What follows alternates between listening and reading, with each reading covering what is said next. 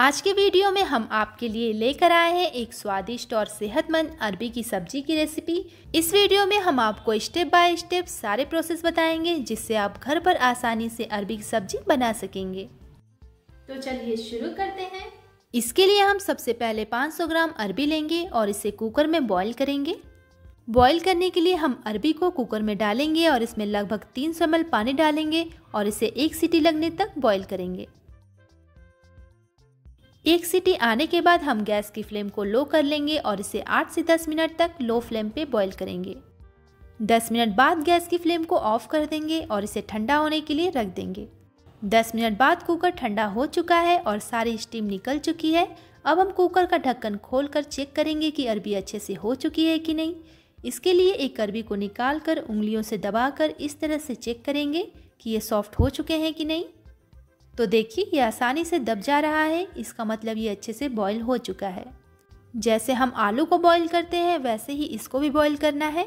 जैसे कि ये बॉईल हो चुका है तो हम इसे एक प्लेट में निकाल लेंगे और इसे हम बिल्कुल ठंडा कर लेंगे।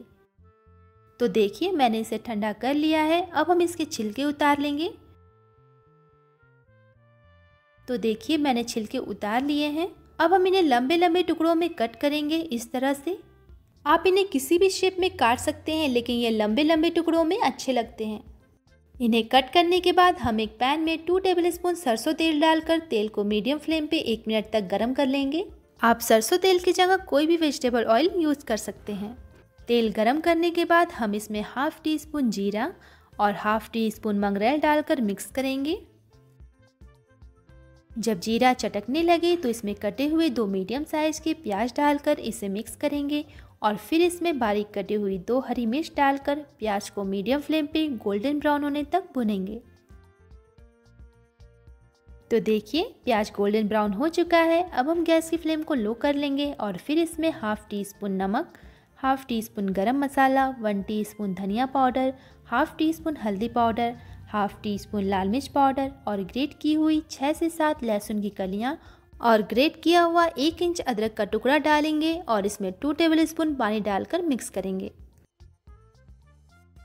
मिक्स करने के बाद हम गैस की फ्लेम को मीडियम कर लेंगे और इसमें बॉईल किए हुए अरबी को डालेंगे और इन्हें मिक्स करेंगे। ध्यान रहे, हमारे अरबी बॉइल्ड हैं तो इसे केयरफुली मिक्स करेंगे, नहीं तो ये मैश हो सकते हैं।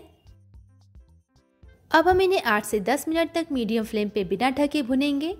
हमें इन्हें तब तक भूनना है जब तक कि अरबी हल्का गोल्डन ब्राउन न हो जाए। हमें इन्हें आधे से एक मिनट पे चलाते रहना है।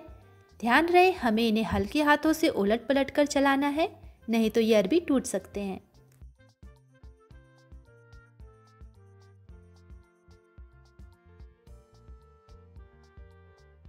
आठ से दस मिनट बाद देखिए, अरबी गोल्डन ब्राउन हो चुकी है। अब हम गैस की फ्लेम को ऑफ़ कर देंगे और इसमें वन टेबल स्पून धनिया की पत्तियाँ डालकर मिक्स करेंगे और फिर इसे एक प्लेट में निकाल लेंगे।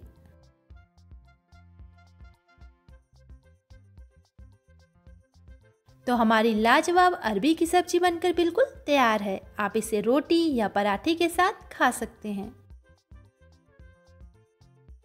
अगर ये वीडियो पसंद आई हो तो इसे लाइक करें, चैनल को सब्सक्राइब करें और बेल आइकन प्रेस कर दें ताकि हमारे अगले वीडियो की नोटिफिकेशन आपको जल्दी से जल्दी मिल जाए।